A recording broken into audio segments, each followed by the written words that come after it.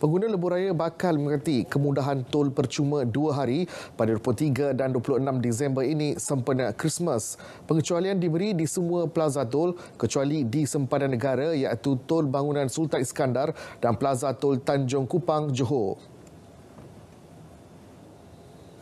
Kita juga uh, berharap dengan pemberian tol percuma ini akan uh, meringankan sedikit beban perjalanan semua rakyat Malaysia yang merancang pulang ke kampung halaman dan melawat ahli keluarga uh, sambutan hari Christmas. Pemberian tol percuma ini telah dipersetujui mesyuarat jemaah menteri pada 6 Disember lepas.